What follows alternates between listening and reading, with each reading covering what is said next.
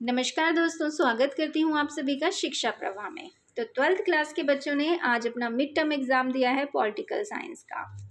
तो मैं लेकर के आई हूँ इस वीडियो में आप लोगों के लिए आपके पॉलिटिकल साइंस एग्ज़ाम की मार्किंग स्कीम को। बेटा, ये मॉर्निंग शिफ्ट की मार्किंग स्कीम है।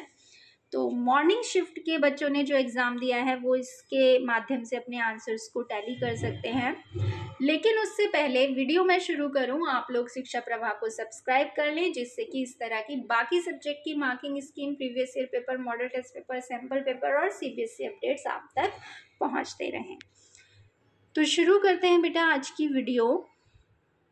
आपका है खंड ए। खंड ए में आपसे कुछ क्वेश्चंस एमसीक्यू बेस पूछे गए थे तो फ़र्स्ट के चार विकल्प आपको आपकी स्क्रीन पर दिख रहे होंगे। आप अपना क्वेश्चन पेपर साथ में लेकर के बैठेंगे और या तो टैली करते रहेंगे या तो टिक करते रहेंगे। ये आपको बेनिफिट रहेगा अपने एनुअल एग्ज़ाम में, आप लोगों को पता रहेगा हमें कौन से क्वेश्चंस का आंसर किस तरह से देना है, किस तरह से हम कम से कम शब्दों में अपनी पूरी बात लिख सकते हैं, जिससे कि हम अचीव कर सकते हैं maximum marks question number four बेटा आपकी स्क्रीन पर है। अगर आपको लगता है वीडियो बहुत जल्दी स्क्रॉल हो रहा है तो आप पॉज करके भी देख सकते हैं। वीडियो को डाउनलोड कर सकते हैं, या और भी कोई विकल्प जिसके माध्यम से आप अपने आंसर्स टैली कर सकें। खंड बा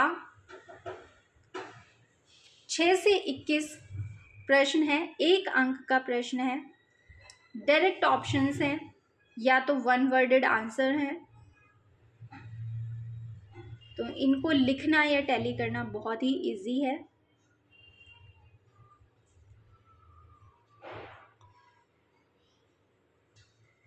खंड सी यानी सेक्शन सी चालीस शब्दों में आपको आंसर देना था, बहुत ज़्यादा इसमें नहीं लिखना था। दो दो नंबर के प्रश्न हैं बेटा। अब पच्चीस से सत्ताईस तक चार अंक के प्रश्न हैं। ऑप्शन आपको दिया गया था क्वेश्चन नंबर ट्वेंटी फाइव में। क्वेश्चन नंबर ट्वेंटी सिक्स में इन्होंने छः पॉइंट्स दिए गए हैं। इसमें से कोई दो आपको लिखने थे और उनको एक्सप्लेन करना था।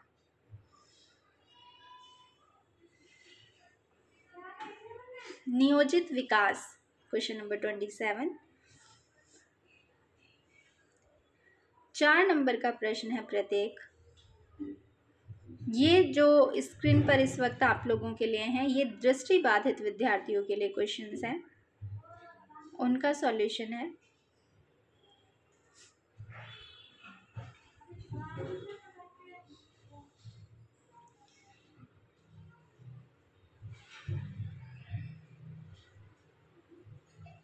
तो बेटा ये थी आपकी मार्किंग स्कीम पॉलिटिकल साइंस की। आशा करती हूँ वीडियो आप लोगों के लिए काफ़ी हेल्पफुल रहा होगा। आपका एग्ज़ाम भी बहुत अच्छे से गया होगा। वीडियो अगर आपको मेरा अच्छा लगा है तो मेरी वीडियो को लाइक करना, दोस्तों के साथ शेयर करना ना भूलें और शिक्षा प्रवाह को सब्सक्राइब कर लें बेल आइकन को ऑल पर सेट कर लें।